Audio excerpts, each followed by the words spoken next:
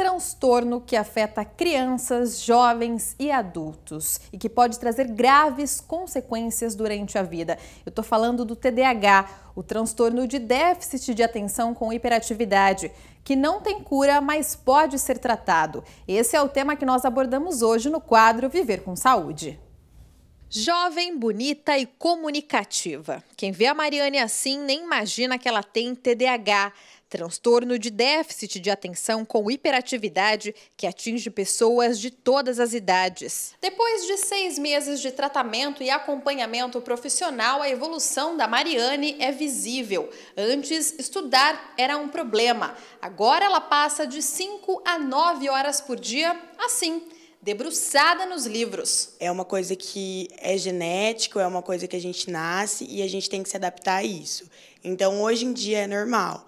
Para mim é mais eu tenho mais dificuldade em estudar, eu tenho mais dificuldade para pegar as coisas, mas não vejo como uma deficiência. E hoje eu consigo sentar oito, nove horas por dia e me dedicar e ter retorno, porque às vezes eu sentava, eu estudava, mas depois eu não sabia nada. Então era tipo tempo gasto à toa. Mas hoje sim eu consigo focar, consigo estudar e ter resultado. Os sintomas são variados e é preciso cuidado mesmo se for descoberto em qualquer fase da vida. Mas é na infância que os pais devem ficar atentos aos sinais do transtorno. Ele ocorre em 3 a 5% das crianças de todo o mundo. Tendem a não obedecer regras, a ser muito agitado, não ter limites para as coisas. Quando criança, ele tende a trepar, quebrar as coisas, subir naquilo, ser muito inadequado. Parece uma criança que os pais não educam. Então, é tido como uma criança que vai ficando com isolamento social, porque ninguém quer esse terrorzinho por perto. Aquela criança que tem o déficit de atenção é uma criança que parece que está no mundo da lua o tempo todo. Uma outra coisa muito importante do transtorno de déficit de atenção é que eles têm comorbidades.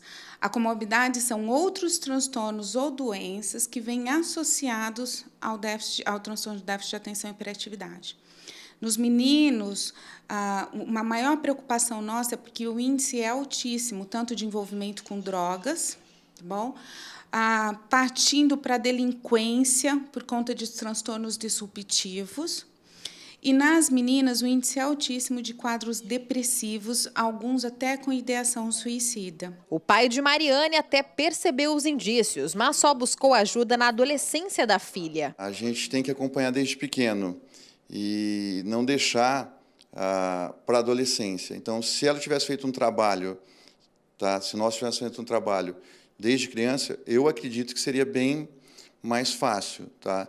E é uma coisa que tem o preconceito. Pai nenhum, na realidade, acha que o filho tem problema.